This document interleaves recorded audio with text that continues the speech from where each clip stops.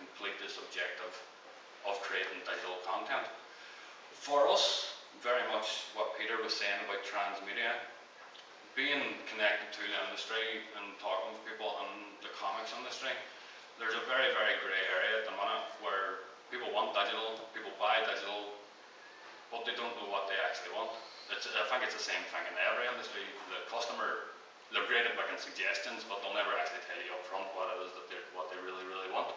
So through the funding that we applied for, this coming uh, on the 20th of May, we're going to be releasing our first app, and it's the Digital Experience Comic. And what we've tried to do in that there is uh, combine this, this idea of, of transmedia, and we're literally putting it out there as our MVP, our minimal viable product, and we know, we literally know that it's not going to do well, but what we want to find out is what is it that the, what the customers actually want, because there's no point of sitting in isolation producing unless, unless we know what is needed.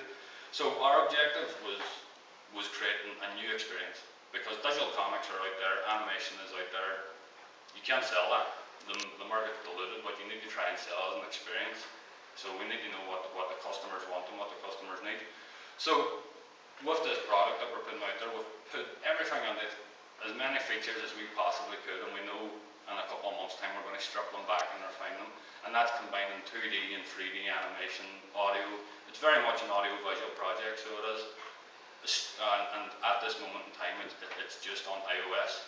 Uh, that was actually a very, very conscious decision because iOS is much more of a consumer market than the Android market, and that sort of fanboy type of person that you get with iOS are more likely the type of people, your early evangelists who will speak up and are willing to make suggestions that will, that will help you form the product.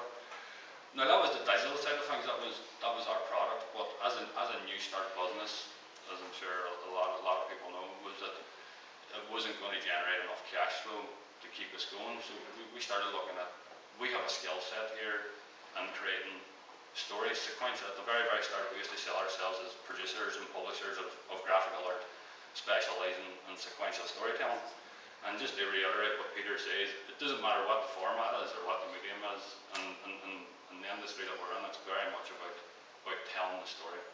So we started looking at where, where can other stories be told? And we started looking at marketing and advertising and stuff like that there, and we realised that marketers and advertisers these days aren't competing with marketers or advertisers anymore, they're competing with filmmakers and directors and all the big film guys are coming from TV adverts and stuff now. Everything's being sold with a story. You can see it anywhere on, on, on, on, on the TV. So we started looking at how can we use our ability to tell stories through engaging content to benefit, to create a business to business revenue model.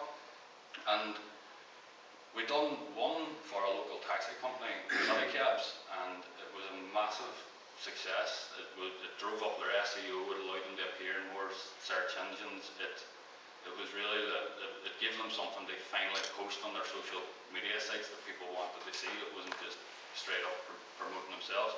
And off the back of that, we, we got involved in the European e-Synergy project. We were working with uh, mental health organisations, and we were using we, we our ability to tell stories to break down large large lumps of information.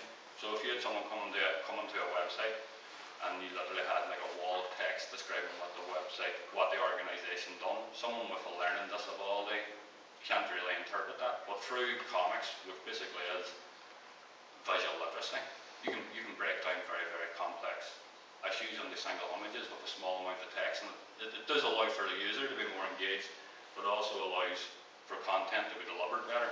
And it gives that lasting impression.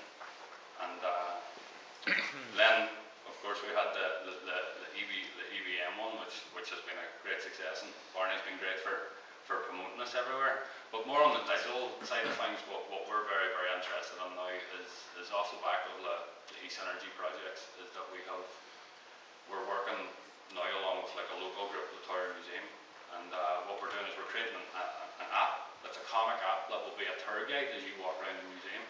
So when you come to see the display that's about a local a local guy in 1608 called Cahir O'Donnell, Instead of you having a tour guide along with that has to tell you about it, you have an app and you can open up a very short comic and it tells you the story through an anim through very basic 2D animation of the story of it. And th this is this is being done for both print and digital. So when you go into a Tower Museum this time, it'll probably take about a year for it to, to go into full effect. You'll be given an iPad or a Kindle as opposed to a, a tour guide, and then you re- return them at the end, and there'll, there'll be our stories through this basic animation that will be that will be telling the story.